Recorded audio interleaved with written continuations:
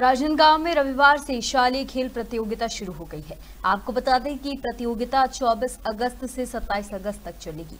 प्रतियोगिता में पाँच संभागों की हॉकी टीमें भाग ले रही हैं। प्रतियोगिता में बस्तर, सरगुजा, रायपुर, दुर्ग और बिलासपुर संभाग भाग ले रहे हैं, जिसमें दो वर्ग हैं, एक में 15 वर्ष बालक खेलेंगे और दूसरे में 17 वर्ष बालक और बालिका टीम खेलेगी।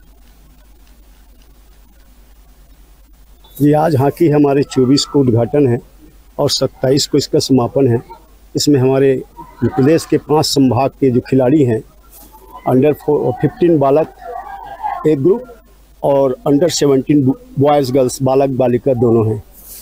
तो ये आ, इनकी प्रतियोगिता यहाँ पर हमारी शुरुआत हो गई है जी। कहाँ कहाँ से आए बच्चे? बच्चे हमारे जो हैं बस्तर बिलास बिलासपुर और रायपुर, सरगुजा और दुर्ग जी हमारे रुकने की उनकी सबसे बड़ी व्यवस्था ये हो गई कि इंटरनेशनल इस स्टेडियम के आसपास ही हम लोगों ने उनको, सबको रुकवाया है, जैसे बक्सी स्कूल है। स्टेडियम में ही दो दो दो टीमें रुकी हुई हैं। गुजराती स्कूल है। बस इतने में ही ये पूरी टीमें यहाँ पर एडजस्ट हो गई हैं। नहीं, अब सब अपनी मेस लेके आते हैं सर, हर संभाग के लोग। अपने मेस के हिसाब से खाते हैं, जो संभाग लेके आता है। उसके लिए क्या है, उन लोग खुद जिम्मेदार होते हैं, क्या खिलाना है, क्या करना है। शासन से उनको मेनू दिया जाता है उस मेनू के हिसाब से उनको खाना खिलाना होता है। ये नेहरू का स्टेट है तो इसमें जो टीम जीतेगी वो जाएगी दिल्ली जाएगी। और इसमें पाँच स्टे पाँच संभाग की टीम भाग ले रही है दुर्ग रायपुर बिलासपुर सरगुजा और बस्तर।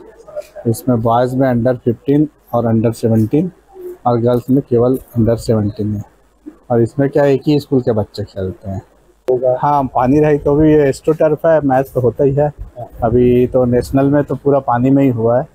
और हो जाता बहुत जब बाल नहीं चलती तभी मैच रुकता है। नहीं बच्चे लोग को नहीं होता पर बड़े जो बड़े प्लेयर रहते हैं उसको इंजुरी चांसेस रहता है। बच्चे लोग का क्या बॉडी थोड़ा सा हल्का रहता है तो दिक्कत नहीं होता।